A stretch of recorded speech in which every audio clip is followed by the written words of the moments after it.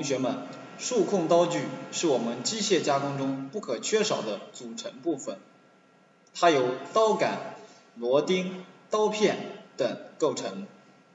那么今天就让我们来共同学习数控车床常用刀具分类及用途。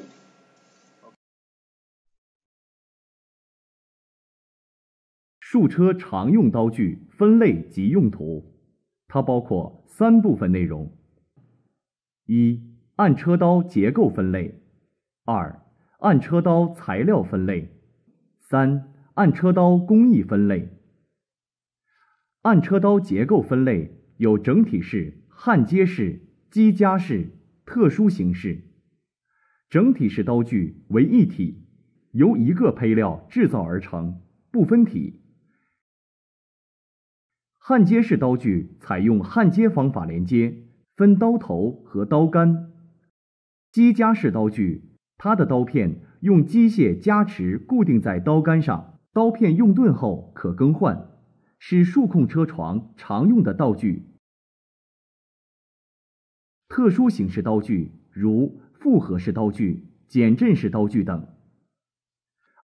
按车刀材料分类有高速钢刀具、硬质合金刀具、金刚石刀具、其他材料刀具。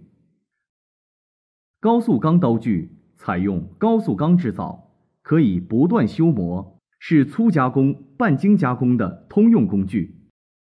硬质合金刀具，刀片采用硬质合金制造，用于切削铸铁、有色金属、塑料、化纤、石墨、玻璃、石材和普通钢材，也可以用来切削耐热钢、不锈钢、高锰钢、工具钢等难加工的材料。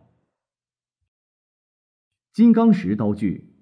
刀片镶嵌金刚石，具有极高的硬度和耐磨性，低摩擦系数、高弹性模量、高导热、低热膨胀系数，以及与非铁金属亲和力小等优点，可以用于非金属硬脆材料，如石墨、高耐磨材料、复合材料、高硅铝合金及其他韧性有色金属材料的精密加工。其他材料刀具，如立方氮化硼刀具、陶瓷刀具等，它们正向高硬度合金铸铁粗加工、连续切削方向发展。按车刀工艺分类有外圆车刀、内孔车刀、螺纹车刀、切槽车刀。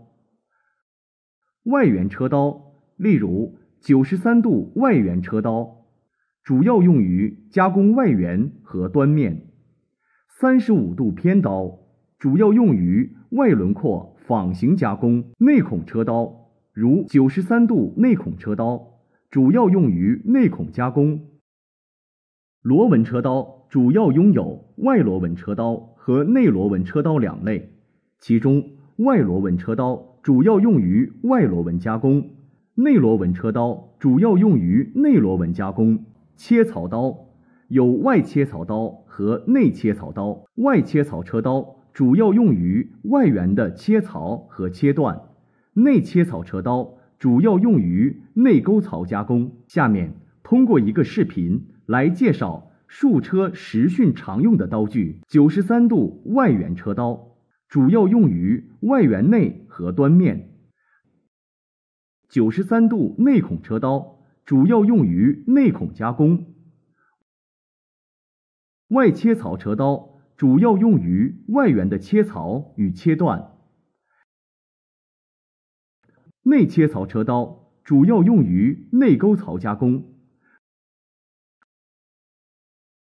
外螺纹车刀主要用于外螺纹加工，内螺纹车刀主要用于内螺纹加工。